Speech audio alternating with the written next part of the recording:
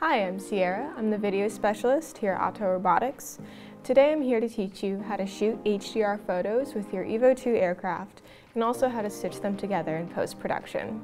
I'd like to begin with a little bit about HDR for those who might not be familiar. HDR stands for High Dynamic Range, and dynamic range is the difference between the lightest lights and the darkest darks in your image.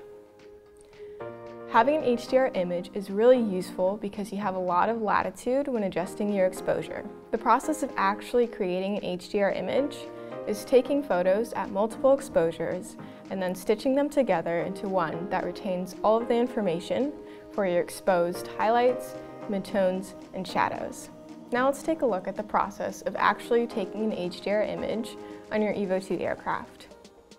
Once you're in the Autel Explorer app, under the camera view, we're going to pull up our settings at the bottom of the screen. Our first option is image size. I was recording on our 8K aircraft, so I would select the largest size that I could, which is 8000 by 6000.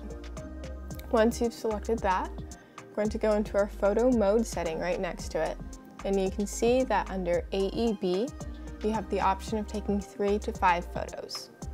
AEB stands for Auto Exposure Bracketing. It sets the camera to burst mode and adjusts the ISO and shutter speed to capture photos at different exposures.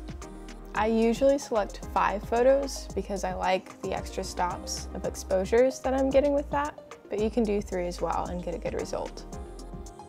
And for our photo format, I always recommend shooting in RAW. It gives you the most leeway to work with in post-production and saves the most information for you.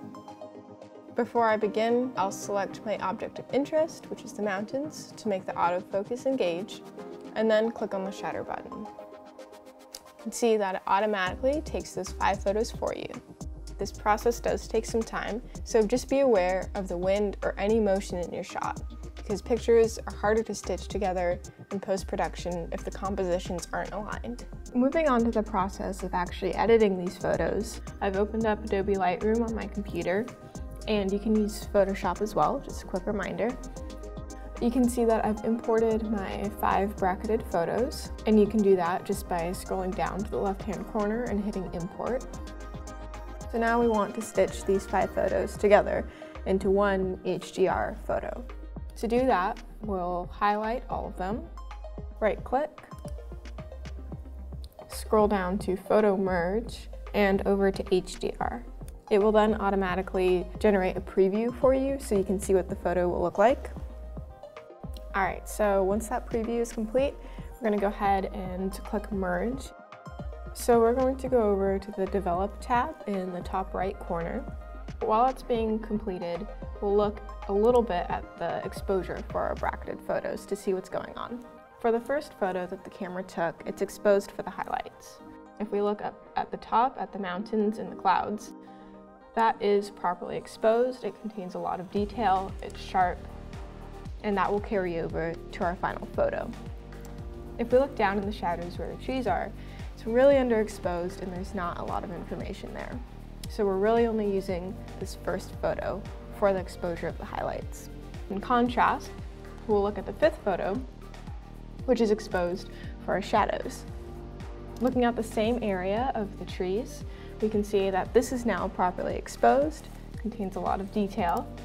It's really just using the information for the shadows in your fifth photo. It looks like our HDR photo is complete, so let's take a look at that. Now we can see how the computer has stitched together the exposures from all five photos and kept the information in our highlights, midtones, and shadows for us. If we go over to our side panel here and adjust our exposure, we have a lot of room to come down lower or higher and still retain information throughout the image. If we look at the black slider down here, when we bring it up towards 100, you can really see how much detail this file contains because it doesn't automatically blow out the shadows. It still has information to work with, which is really, really helpful. So that's our finished photo. You can see really how easy it is to edit HDR photos, stitch them together. It's very simple, very quick, and it provides you with a lot of latitude when you're adjusting for exposure. Thank you so much for watching. If you enjoyed this video, please give us a like or subscribe on the channel. or comment down below any additional questions you may have. Thanks for watching.